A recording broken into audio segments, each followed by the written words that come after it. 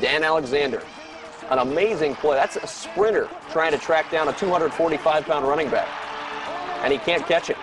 Alexander with 80-yard run up the middle, outran Ben Kelly to the end zone, two-play 80-yard drive, and Kelly was exhausted afterwards.